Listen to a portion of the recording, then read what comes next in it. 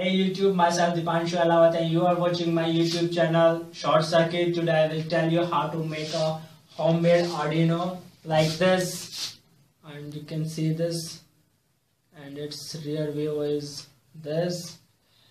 The main benefit of uh, such type of Arduinos is they are smaller in size if you want to use them in your project they will take a very less space because the original Arduino is bigger in size you can see this. And also if you talk about the cost of these two Arduinos it cost around uh, about 700 and the cost of making my this Arduino is just uh, uh, about uh, 350 or 300 rupees around. So today now I will explain you how I made this here now I will explain you the main circuit of my Arduino. This is the main chip of my Arduino ATmega328 actually this is the microcontroller. So uh, what you have to do first of all connect the pin 1 to uh, plus 5 volt uh, via 10k resistor. It's a pull-up resistor. And then connect uh, pin 7 to plus 5 volt. It's a VCC and uh, this uh, capacitor is optional. If you want to connect it you can connect. If you want to leave uh, don't want to connect this capacitor you can leave it uh, as it is. Uh, actually this is for uh, removing the um, removing what's going on? Okay. Actually this is a smoother capacitor used at input. And connect your pin 8 of this chip to ground and pin 9 and pin 10 to the crystal. It's a 16 megahertz crystal used here. And connect this pin 9 and pin 10 to ground via these two capacitors. Uh, this uh, value of this both capacitor is 22 picofarad. And uh, uh, on the other side connect pin 22 to the ground and pin 21 and 20 to plus 5 volt and pin 19 is our uh, digital pin 13 here we will connect connect our LED and we will see if it's glowing or not we will upload a blank sketch from example the simplest uh, um, Arduino sketch to check whether our Arduino works or not. So now let's make it on breadboard. So let's start. This is our microcontroller. Fix it here. Now I will connect these two wires. These are my supply wires and I am choosing my internal rail this one as positive and the outer one will be my negative connect them together now this is the pin 1 of our microcontroller here. So how will you know that this is the pin 1 so best thing is uh, there is a notch at this end. So from see the end which has notch and from that end see the left point. And that left point is our pin number one. And then from there start counting like this. One two three four five six so this is the numbering of pin and this is valid for any IC now I will connect this pin 1 to plus 5 volt using a 10k resistor.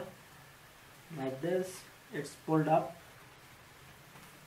And uh, here we see we have pin 7 connected to our plus 5 volt. So pin 7 is 1 2 uh, 1 2 3 4 5 6 7 this is our pin 7 so connected to plus 5 volt like this. And pin 8 is connected to ground.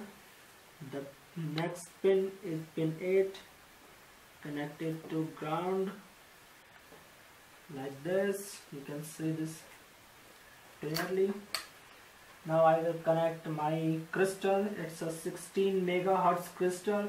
It provides the clock pulse to our microcontroller and this is very necessary.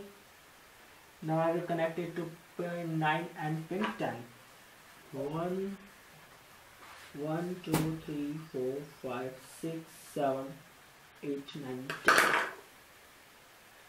these two pins are 9 and 10 now connect two capacitors. These uh, both of them are of 22 microfarad one of their terminal will be connected to crystal and another will be another one will be connected to ground. That is with the point uh, pin 8 and pin 9 and another will be another one will be connected between pin 8 and pin 10 connect them carefully there is not enough space.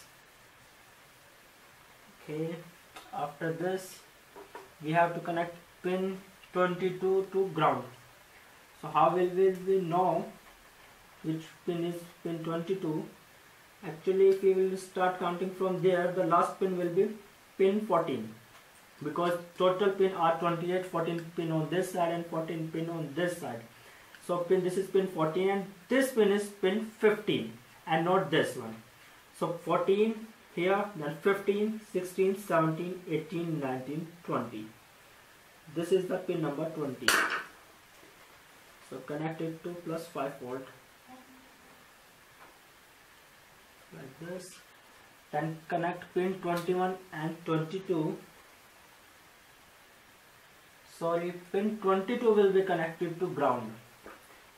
15 16 17 18 19 20 21 22 okay this pin will be connected to ground.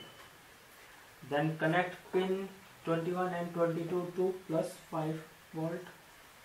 This is 20 then this is 21 connected to plus 5 volt. And pin 20 to plus 5 volt once again double check everything. Let me check this.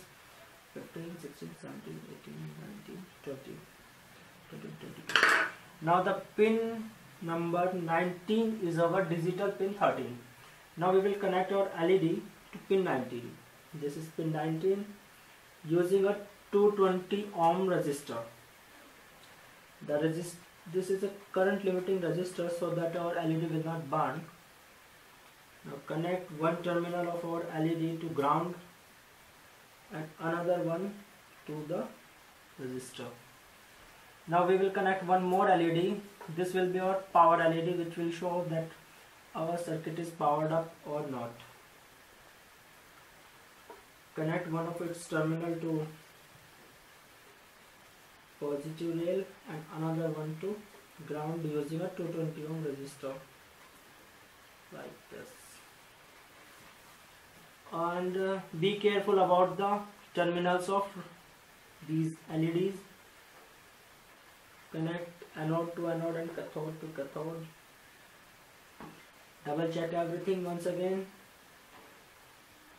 Okay everything is connected properly. Now connect uh, the power terminals.